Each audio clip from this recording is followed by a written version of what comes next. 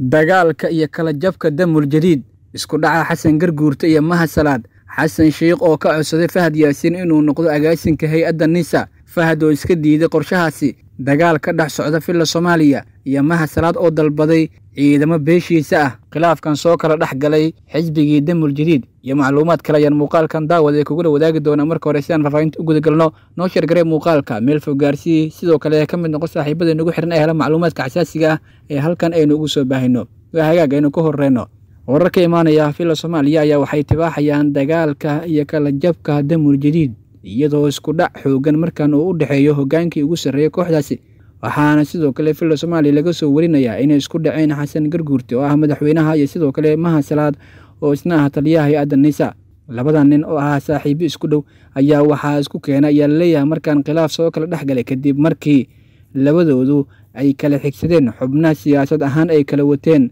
Isku dhaca ayaana yimid kadib markii la ogaaday xog sirdoon oo hoose ay sheegayso in labadooda muddooyinkii ugu dambeeyey khilaaf baahsan uu u dhexeeyey mahasalaad ayaa waxa uu hore u soo dhistay xasan sheikh balse xasan ayaa ku tagrifalay awooddii mahad sida la soo warinayo waxaana mahasalaad uu dalbaday ciidamo dheeraad ah oo beeshiisa ah si arrintan wax looga qabto. Khilaaf horle ayaana soo kala dhex galay labada nin ee siyaasadda muddooyinkii ugu dambeeyey saaxiibka ku ah balse hadda ay kala geysay siyaasadda oo ah inta badan mid danley ah haddii la isla fahmi waayena lagu kala tago ayaa hadda u muuqata in labada nin ay isku dirtay taa oo ka dhigan in mar kale ay noqon doonaan koox kala jabta kooxdii damul jadiid ee muddooyinkii ugu dambeeye ahayd mid meel wacan ka joogtay siyaasad ahaan markii la eego. Loolan adagna kula jirtay nabad iyo nolol damul jadiid ayaa waxa ay laba jeer qabteen xilka ugu sarreeya dalka. Waa labada kun labaiyo tobankii doorashadii ka dhacda dalka iyo sidoo kale doorashadii sanad ka hor ka dhacday soomaaliya taa oo ka dhigan in laba jeer ay ku soo laabteen talada dalka. Nabad iyo nolol ayaana loolan adag kula jira xisbigan damul jadiid waxaana ay u muuqataa markan in khilaaf xoogan oo baahsan uu u dhexeeyo xubnihii ugu sarreeyey xisbigan waxayna ku heshiin laayihiin siyaasad ahaan qof walba iyo waxa uu wato mowqif ahaan ayaynu isku fahmi laayihiin sida xoogaha hoose aynu ku helino. Wararkayna soo gaaraya ayaa sheegaya in dagaal gacanka hadal gaaro uu ka socdo filla soomaaliya. Isfahmi waana labada nin uu soo kala dhex galay. Sidoo kale waxay xoguhu tibaaxayaan ayna u muuqataa markan in dagaalkan uu noqon doono mid qabaa'il salka la gala iyada oo beelaha ay ka dhasheen labada nin ay noqon doonaan kuwo isku gacan qaada maadaama isku dhacooda uu yahay mid baahsan xilligaana ka socda filla soomaaliya labadooda. Ayaa waxa ay kala wataan xubno siyaasad ahaan kala taabacsan waxaana maha salaad la soo warinayaa in siyaasad ahaan xilligan ay isku dhacsan yihiin xasan sheekh maxamuuda iyadoo hadda ay u muuqato labadooduba in arrintooda xal loo waayey xubno siyaasiyiina oo isku dayay in arrintan ay ku baxaan xalna ay ka keenaan ayaa ilaa iyo hadda maaro u la barnaamijka gaarka ah ee labada nin ka dhexeeya iyo waxa ay isku haystaan iyadoo ay hadda u muuqato in arrintu ay ka sii dari karto maadaama dagaalka u dhexeeya labada nin hadda uu yahay mid sii baahaya. Saacado ayayna qaadatay in la kala dhex galo. Xubno badan oo siyaasad ahaan ka agdhan labada nin ayaa waxa ay isku dayeen inay kala dhex galaan balse ma aysan u suurtogelin oo waa ay ku fashilmeen maadaama siyaasadda la isku haya ay tahay hadda mid maaro loo la'yahay. Labada ninna ay isku mari la'yihiin xasan sheikh ayaana durbo waxa uu dalab u diray xubnihii nabad iyo nolol qaar ka mid a isagoo markan ka dalbaday inay caawin siyaasadeed u sameeyaan. Dowladda ayuuna markaasi ugu baaqay in ay kula soo biiraan si wax looga qabto raggan u tashtay sida laga soo wariyey filla soomaaliya xasan sheikh ayaa waxa uu si gaara cusi ugu diray fahad yaasiin xaaji daahir taliyihii hore hay'adda nisa waxaana uu ka dalbaday in uu noqdo agaasimaha hay'addaasi balse warar ka imaanaya turkiga ayaa waxay tibaaxayaan in fahad arrintaasi uu ku gacan seeray. Xasan sheikhna uu ka diiday in uu kula biiro dowladda hadda uu dhisay ee ah damul jadiid taa oo saamilay ahaan iyo siyaasad ahaanba raggan ay yihiin kuwo isku dhacsan oo iskhilaafsan. Macluumaadka kale ee la helayo ayaana waxa ay muujinayaan in ay yihiin nibankan hadda ishaystaa kuwo siyaasad ahaan isku dhacay. Mararka qaarna ay dhacdo midan oo kale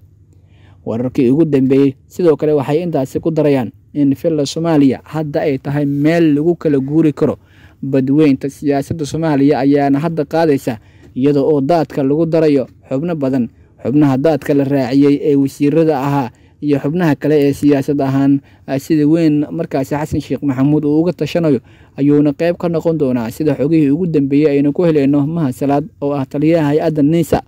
mahad ayaana muddooyinkii ugu dambeeyey waxa uu dhisanayay hay'ad xoog badan ciidan u abaabulan qaab qabaa'il iyo sidoo kale qorshe ka duwan midda hadda markaasi uu watay. Siyaasad ahaan markii la eego labada nin ee hadda ishaya ayaana waxay ahaayeen kuwo siyaasadda soo wada bilaabay.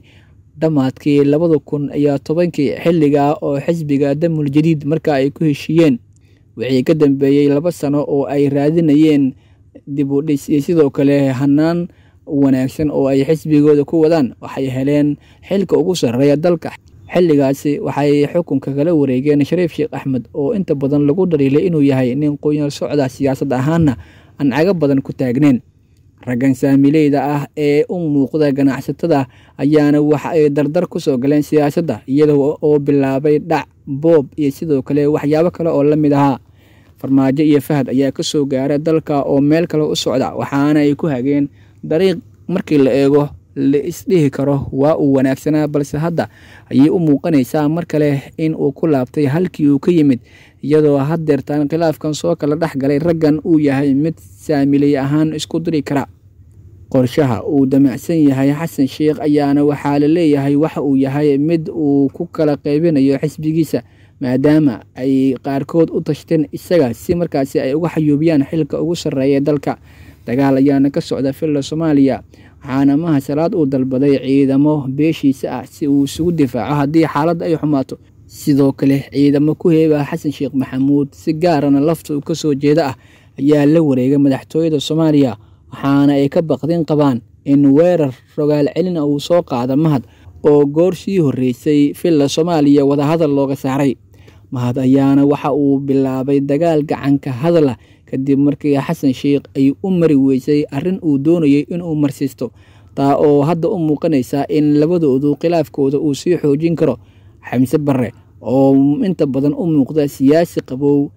saameenna aan ku dhex lahayn xisbigan ayaa isku dayay inuu kala dhex galo raggan balse ma aysan u suurtogelin waxay tibaaxayaan in arrintan ay hadda tahay mid qabaa'ilka labada nin ay ka dhasheen ay gelayaan haddii markaasi la xalin waayana ay noqon doonto mid khilaafka sii kordhin karta wax badanna ka bedeli karta siyaasad ahaan iyo sida haddeertan ay isku aaminsanayeen waa isku dhaceen raggii muddooyinkii ugu dambeeyey iswatay siyaasad ahaan iyo wax walba oo ku saabsanaa saamileydan ayaana hadda waxay u muuqataa mid kala dhantaal ku yimid xisbigii damul jadiid mahasalaad ayaana abaabul ciidan waxa uu ka wataa agagaarka madaxtooyada soomaaliya gaar ahaan godka jilcow waxaana ciidan aada u hubeysan ay ka yimaadeen xarunta hay'adda nisa ee habarqadijo iyagoo uu markan ku soo wajahan dhanka filla soomaaliya.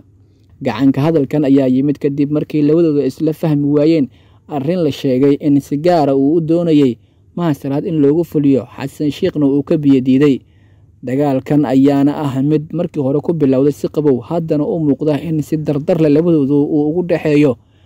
xog walba oo ku saabsan arrintan muuqaaladeena dambe ayaan saaxiibayaal idinkula wadaagi doonaa. Inta ayaana jeclahay in muuqaalkan idinku soo gabagabayno. Haddii aad nala soo gaartay ilaa dhammaadka muuqaalka waan kuu mahad celinaynaa sidoo kale nagu soo biir. Haddii aad nagu cusub tahay qayb ka noqo saaxiibada inagu xiran oo helo macluumaadka casaasiga halkan aynugu soo baahino waad mahadsantihiin daawadayaal dhammaantiin